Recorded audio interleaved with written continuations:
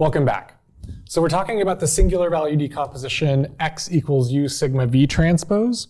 And now we're going to talk about how you can use this to compute uh, the principal component analysis, the PCA, which is one of the most important uh, techniques and dimensionality reduction in all of statistics and data analysis.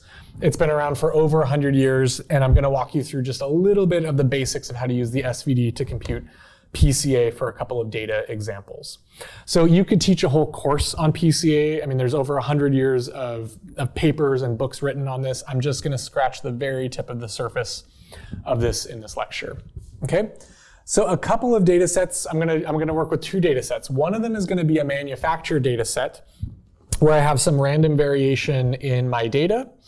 Uh, and then the other one is going to be a real life data set uh, with genetic markers that correlate to ovarian cancer. Okay, so in this first example, this is just kind of a cooked up um, example. This is uh, all the code is at databookuw.com. Uh, I believe this is all from section 1.5 of our book, Data Driven Science and Engineering. So uh, just walking you through this very briefly, this is, again, anytime you're going to test a mathematical tool like the SVD or PCA, it's a good idea for you to, to test it out on a system where you know the answer.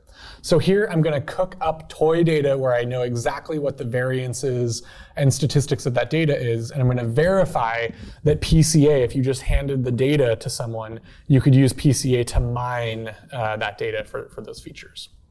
So what I'm going to do is I'm going to cook up a data set that has a center. So my data is going to be centered at the point. It's a two-dimensional data set there's two variables, x1 and x2.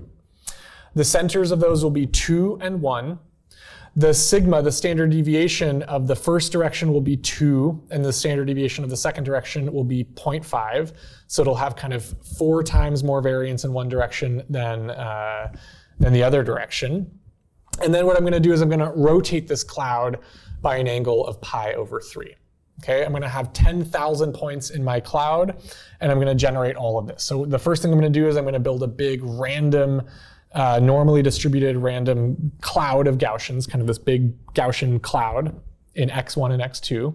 Then what I'm going to do is I'm gonna stretch it according to sigma, I'm gonna rotate it according to r, and I'm gonna center it, move it centered according to xc. So I think that's actually uh, what I'm doing here. Okay, and then I'm going to plot that cloud of noisy data for you uh, in the first panel.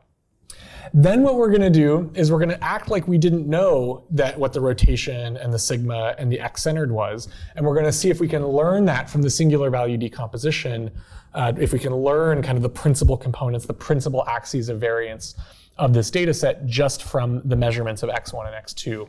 And that's what we're going to plot in, uh, in subplot 122. So I'm actually going to bring the whole, uh, the whole plot up all at once to start with. And then I'm going to talk you through this. Okay, so this is my, uh, my data set here that we generated um, in MATLAB. And so again, it's a kind of a Gaussian and normally distributed cloud of points where what I've done is I have moved the center up to 2, 1. So you can see here that the center is not at the origin. It is elongated in one direction more than the other by a factor of 4 and it's rotated up at an angle of pi over 3. So this is the data I generated.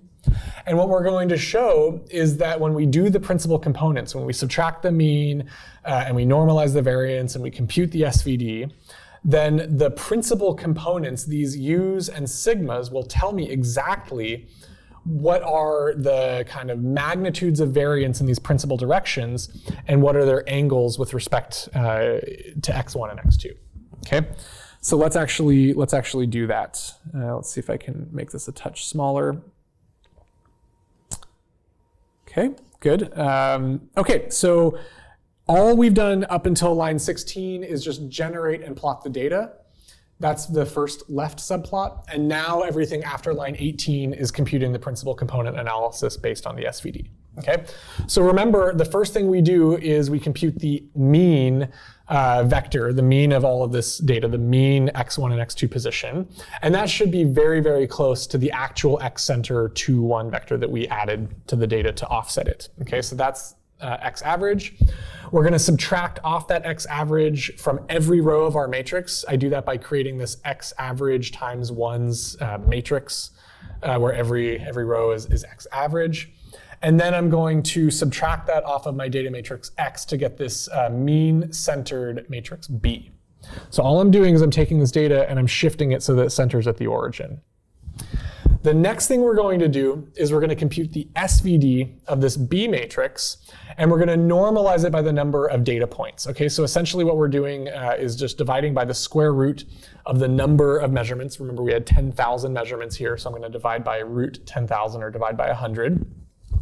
So that essentially I'm normalizing so that as, as I add more and more data points, my SVD doesn't change. Okay. So I'm going to compute this SVD, and now I have my factors u sigma and v from, uh, from the SVD. And we're going to interpret the U columns and the sigma matrix in terms of how this data is rotated, what are the, what are the angles or kind of the, the vector directions of these principal axes of variance in the data, and how much variance is in each of those directions, okay? Uh, and I'm gonna do, I think you should take some time and actually walk through this code carefully yourself, because um, there's a little bit of nuance here. What I'm doing here is I'm taking this theta um, vector, which is basically just a vector from 0 to 2 pi in a small increment, in 100 increments. And I'm going to take that circle, and what I'm going to do to that circle is I'm going to multiply it by sigma. I'm going to stretch it out, and I'm going to rotate it by u. So remember, my data had um, my data was stretched by a factor of four in one direction, or two in one direction, and 0.5 in another direction. So my sigma matrix should capture that 2.5 stretching of those principal axes. And I rotated my data up by pi over 3. That should be captured in this unitary rotation matrix um, U. This should be a rotation by pi over 3. Okay? And so if I take kind of a Gaussian cloud of points, or a circle, if you will, and I multiply it by this sigma matrix to stretch it into an ellipsoid, and then I multiply it by this U matrix to rotate it up, that's how I'm color coding, uh, how I'm getting these cyan um, ellipsoids that I'm plotting here uh, on top of my data distribution. So the, and, and you can interpret this very physically. If I just take U times sigma times a unit circle, that is the ellipsoid that should capture exactly one standard deviation of my data. So you can see here, uh, this inner cyan circle here, that's the one standard deviation circle. One standard deviation uh, of my data is within that ellipsoid. Okay, it's one, one standard deviation confidence interval. And so what I'm doing here is I'm plotting my, uh, I'm offsetting by my average, and then I'm adding kind of these um, standard deviations circles, one standard deviation, two standard deviation, three standard deviation, uh, not circles, ellipsoids. Okay, and you can actually see that it very, very nicely captures these 10,000 data points. I get almost, almost all of them within uh, these confidence intervals, and they're aligned with the directions of maximal variance within the data. Okay, so that's super important. So these columns U, I'm also actually plotting those directions as these red lines. So the first column of U is the first red line, is the direction of the maximum variance of the data corresponding to this factor two. So most of the variance in the data is in that direction, that first red line, the first column of U. The second column of U tells me what the second direction of maximal variance is that captures all of the remaining variance, um, this 0.5. So really, really useful tool, um, and it has this incredibly nice interpretation in terms of, of the statistics of the data. Okay, so this has been used for over 100 years. It's a very, very powerful technique. But we can also apply it to real world data sets. Um, in fact, that's why it's useful. I can apply it not just to 2D scatter plots of truly Gaussian data. I can plot it, uh, I can use it to analyze really, really, really high dimensional data with maybe hundreds or thousands uh, of pieces of information and maybe millions uh, of, of independent experiments or measurements of those factors. So here we're going to look at this data set uh, the ovarian cancer data set. This is uh, built into MATLAB, so you can load ovarian cancer, and you'll get this really nice data set. I'm just going to load everything here. Um, and we're going to see. So what we have, uh, I don't know if you can see in the upper right, we have groups and observations. And so observations is a 216. Let me just do size of OBS. We have a 216 by 4,000 matrix. And what this corresponds to, there are 216 patients. And for each of those patients, they measure 4,000 genetic markers. Okay, and what we're trying to do is figure out which genetic markers most correlate to whether or not those uh, 216 individuals do or do not have ovarian cancer.